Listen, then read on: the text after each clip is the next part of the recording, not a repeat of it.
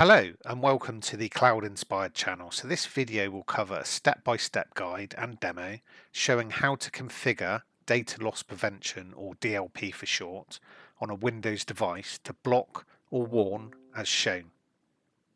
So we will show this together with auditing sensitive information like drivers license numbers, IP addresses being copied to the clipboard um, from a document and pasted elsewhere um, into Notepad for example. We will also cover the setup and demo of onboarding devices to Microsoft Purview from Microsoft Intune. We will configure and show the block warn of copying uh, Microsoft documents and files to network shares, copying files outside a remote desktop session for RDP, blocking uploading files and data to cloud storage like Google Drive. We will also look at auditing in the compliance portal to see alerts and the Activity Explorer.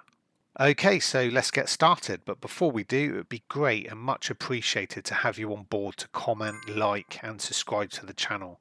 Also, feel free to check out the popular and very cool cloud inspired merch available. Got some great stickers, hats, drinks, beer mugs, and clothing available um, with a super um, cloud inspired logo. So it would be great for you to all to get involved, be the first to comment, and where in the world you've received the merchandise from, all the way from this UK channel.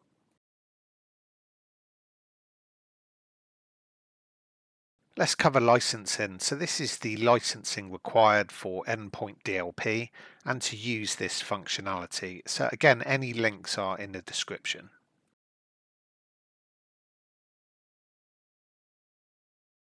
So for the onboarding steps, we start by enabling the connection between Microsoft Defender for Endpoint and Microsoft Intune.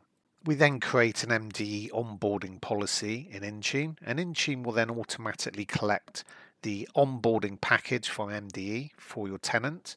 So you just need to assign the onboarding profile to the devices you want to onboard, and Intune will push the onboarding package to them. So let's make sure in endpoint settings in the security portal at security.microsoft.com the Microsoft Intune connection is turned on. And then in the compliance portal at compliance.microsoft.com under settings, device onboarding, we have some options um, for onboarding via various deployment methods. We can use local script, group policy, config manager, but we will go for the MDM and Intune um, for this demo um, deployment as this is scalable once configured. So let's download the onboarding package and then we go to intune.microsoft.com um, I know so many portals, um, but so under devices, configuration profiles, create a new policy, and we are testing with uh, Windows here um, for this demo. So let's choose the platform as Windows 10 and later, and the profile as template. And let's choose um, the template Microsoft Defender for Endpoint. Okay, good. So let's give the profile a name. The package type is onboard, and we will block sample sharing and enable expedite telemetry reporting frequency. So unzip the file and attach the onboarding package file that we downloaded earlier on. And we are going to apply this to our device group, which contains the devices we want to deploy this package from. So we won't apply um, any rules um, and then uh, we will review and create. This is the autopilot device group containing the devices that we want to deploy to. Then when we go back to the device onboarding, we can see the device onboard with no policy sync applied yet.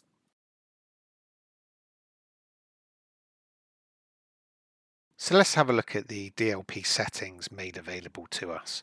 So on the left hand side menu under data loss prevention, there used to be a, an endpoint DLP option for settings here, but it looks like this is now moved um, to the overview page in the right hand corner.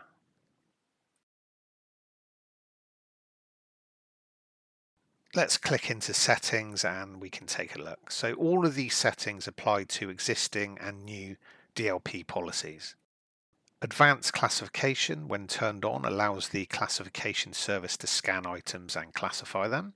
We can add file path exclusions for Windows to exclude from monitoring. This also include file path exclusions for Mac and we can turn on evidence collection for file activities to store and collect original files to online storage. Can extend exclusions for mapped network drives and shares so they will not be monitored by policies. We can add different access restrictions for different types of apps using app groups to control the level of access um, for sensitive content. Also, you can restrict apps based on the access by restricting apps um, setting in the DLP policy. We will see where that setting is in the next section when we create a, a DLP policy. With auto quarantine settings, we can specify a location on the end user's device where files should be quarantined if they are blocked from accessing um, an unallowed app um, that has uh, the auto quarantine selected under restricted app settings. So we can also replace um, that block file with a custom text file to let the users know where the file um, has been moved. We have Bluetooth app protection and we have unallowed browsers that can be set to block access to protect files. We can set service domains, which we will cover shortly in the next section, and we can block external domain access for example blocking users uploading files to external cloud storage like Dropbox or Google Drive we can customize a block with override setting notifications that users will receive. Um, file activity is always audited by default um, for Office PDF, uh, CSV unless this setting is turned off. Printer restriction groups to apply different restrictions to printers. Remove, removable USB drive um, device groups can control what happens when a user attempts to save protected files to removable USB media can set different network share groups to apply different restrictions to network shares. And then last on the list is VPN settings, and we can apply different restrictions when users are connected over a VPN. So you will also um, you can configure a simulation mode instead of test mode, where you can evaluate policies in simulation before enforcing them. So as you can see, there's quite a lot of settings here to configure, um, and we have many options to control um, our DLP policies under these settings. So now let's take a look at blocking service domains in the next section, and then after that we will create and configure a test DLP policy.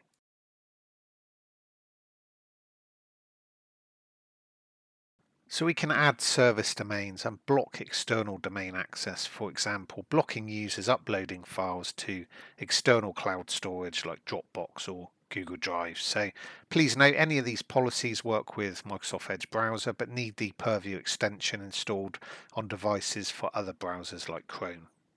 As you can see, we already have a list um, we have added before of popular cloud domains. Um, so we'll add one more here. So we will click add and we will add Dropbox to this list. Next, let's configure a policy to use these settings here.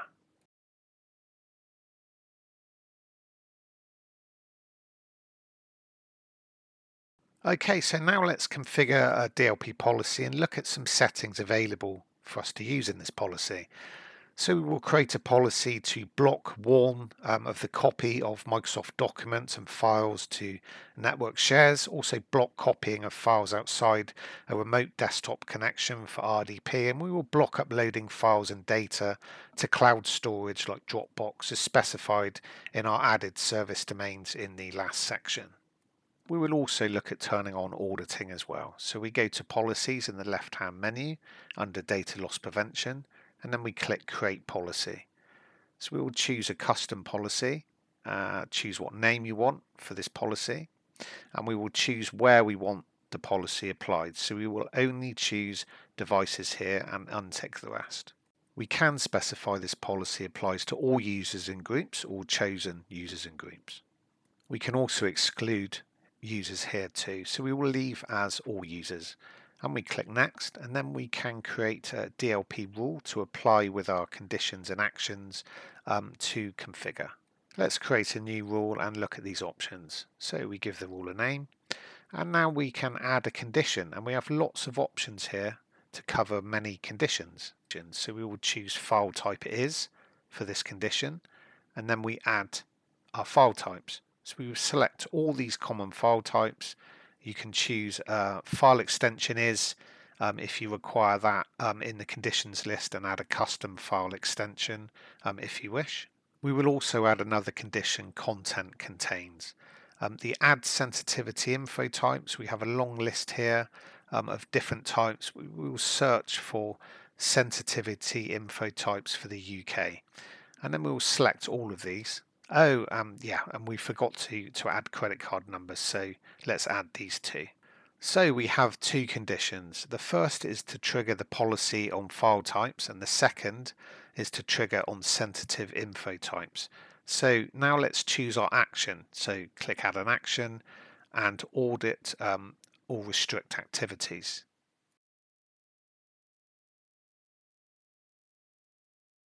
Here under service domain and browser activities, we can audit only or block with override or block when users upload to a restricted cloud service domain um, in our list earlier that we created or access from a, an unallowed browser. We will choose block with override here and paste sensitive information in a text field to support browsers we choose audit. And then under file activities that match the policy condition we set earlier for file types and sensitive info, we can trigger when a user attempts to copy uh, to clipboard um, of these file types and sensitive information, um, we choose block with override. Block with override on copy to a network share, and we copy or move um, using RDP to block with override and then we choose audit online um, on removable USB storage um, and Bluetooth and under restricted apps activities we will audit. User notifications, we will turn that on and we tick notify users in Office 365 with a policy tip and we can customize the message users receive um, if required.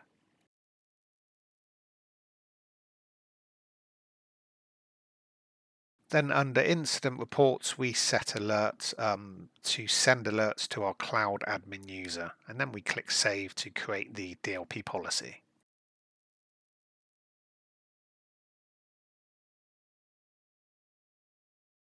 Okay, so now let's demo and test copying files to a network share. So we see we have three documents to test. We have a test Word document with no sensitive data we trigger on in our policy. However, we do trigger on the condition that it is a file type of Word document. We have another Word document with um, a driver's license info, so we do trigger on that sensitive information under a condition we added earlier. And we have an Excel file with credit card number on to trigger policy. So all three documents should trigger the policy based on the conditions and actions we set in the DLP policy. So let's open the network share. And then when we drag and drop or copy uh, these files to that share, we get a notification giving us the option to either allow it or dismiss this action. Because in our policy we choose block with override for copy files to a network share, the same for driver's license file and the same for the test document we will dismiss and not allow the copy. Now these actions will be audited in the portal as well so we will take a look uh, later on.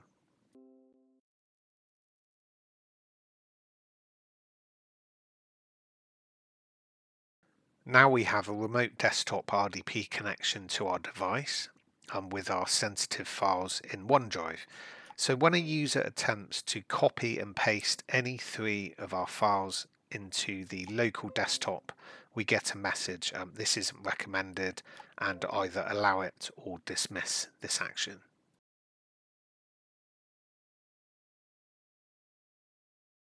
Okay, good. So let's now demo and test the service domains we added. We will log in to Google Drive in Microsoft Edge browser, and we would need the Purview extension installed on devices for other browsers like Chrome for the policy to work. We are logged into Fred Bloggs' personal Google Drive account, and now when we attempt to drag or upload a file into Google Drive from the local desktop, we can get a block notification.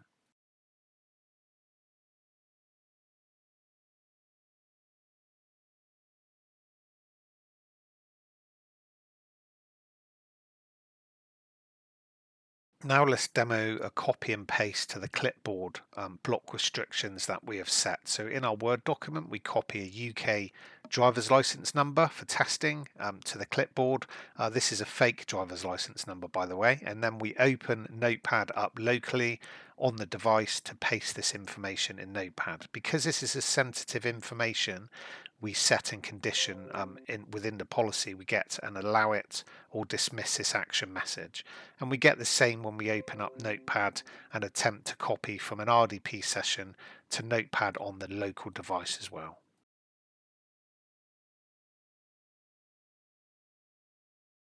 Okay, good. So these user actions performed in the last section are audited under alerts and Activity Explorer. So we can see the alerts generated under alerts for DLP policy matching our documents.